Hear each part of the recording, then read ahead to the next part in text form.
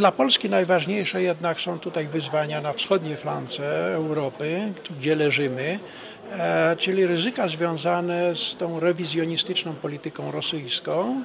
E, no, jest tym kursem takim konfrontacyjnym.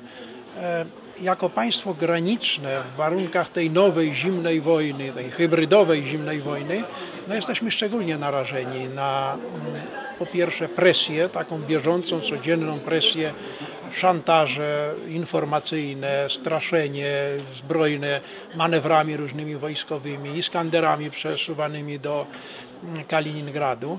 W związku z tym te, to nasze bezpieczeństwo głównie ma swoje e, źródła, te zagrożenia mają swoje źródła tutaj na wschodniej flance.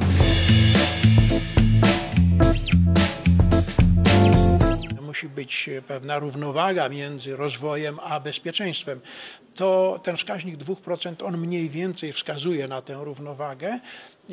Ja nie sądzę, aby to było jakieś bardzo pilnie potrzebne, to zwiększenie. Ważne jest dobre wykorzystanie tych pieniędzy na obronę, na wojsko, na unowocześnienie, na modernizację, na wprowadzenie nowoczesnych systemów uzbrojenia, na e, wdrożenie e, takiej rewolucji informacyjnej w siłach zbrojnych. Mam na myśli zwłaszcza cyberobronę, którą powinniśmy tu priorytetowo traktować, bezzałogowce wszelkiego typu różne, e, czy też technologie satelitarne, bo bez tego te wysoce zinformatyzowane systemy uzbrojenia nie byłyby skuteczne.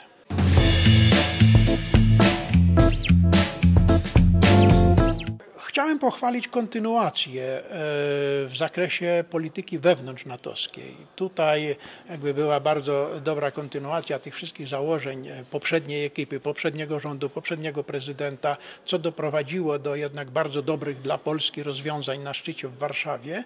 I tu jest dobra kontynuacja.